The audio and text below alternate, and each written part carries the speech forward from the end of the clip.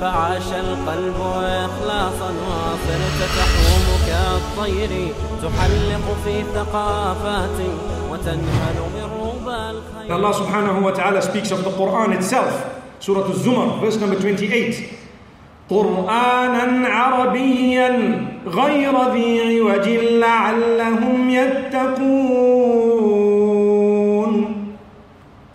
Look at the term taqwa being used again. Perhaps you may achieve righteousness. The Quran, that which is recited in the Arabic language,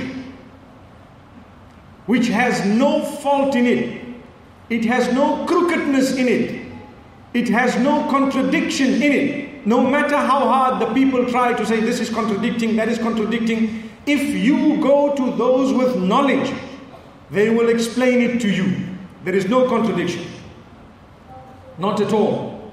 Recently, someone tried to prove wrongly that the Quran has in it verses that depict Jesus as a God or a son of God. Astaghfirullah. Such stupidity, lack of the knowledge of the Arabic language is very clear in it. I don't know if you heard the clip, but it's doing its rounds. An Indian man busy talking and saying, I used to be a Muslim. And the Quran itself sent me to Jesus. What nonsense. May Allah forgive us. What stupidity. You're trying to tell me that for 1,400 odd years, no one picked it up, and you suddenly, a bright spark who doesn't even speak Hindi correctly, want to come and tell us what the Quran has to say?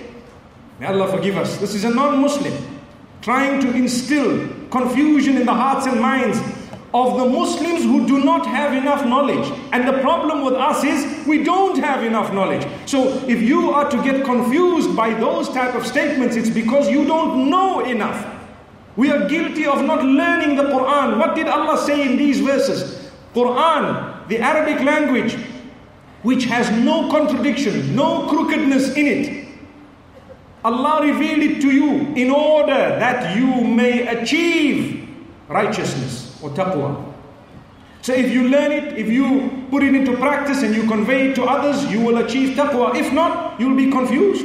So learn the Quran. This is why it is the duty of every single one of us to make an effort to learn the Quran. Not just the recitation, but the meaning of it. Learn it directly yourself. You know, people ask me, Have you read this book, Fifty Shades of Grey? A lot of people have asked me this question. And when I say, What is it? Oh, there's a movie out as well. Have you seen it? And then people tell me that is something that was created in order to drift people away from morality to immorality. Wallahu a'lam. Allah knows best. But why I am surprised is when Muslims ask this question, I ask them a question Have you read the book? Not 50 shades of grey, one shade of heaven. You want to go to heaven? Have you read the book? We are ready to entertain ourselves with so much of entertainment. I'm not saying that entertainment is prohibited. No, it depends what it is and how long you are with it. But at the same time, if you don't know the Quran, you have wasted your time. You have wasted your life completely. You don't know the Quran, you've wasted your life.